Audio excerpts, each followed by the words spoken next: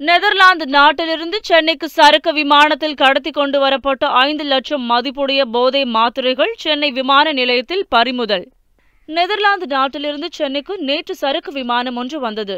அதில் வந்த பார்சல்களை சென்னை விமான நிலைய சுங்கத்துறை அதிகாரிகள் சோதனையிட்டனர். அதில் சென்னை மற்றும் திருப்பூர் முகவரிகளுக்கு வந்திருந்த இரண்டு பார்சல்கள் மீது சந்தேகம் ஏற்பட்டது. இதையடுத்து அதிகாரிகள் பார்சல்களை பிரித்து பார்த்து சோதித்தனர்.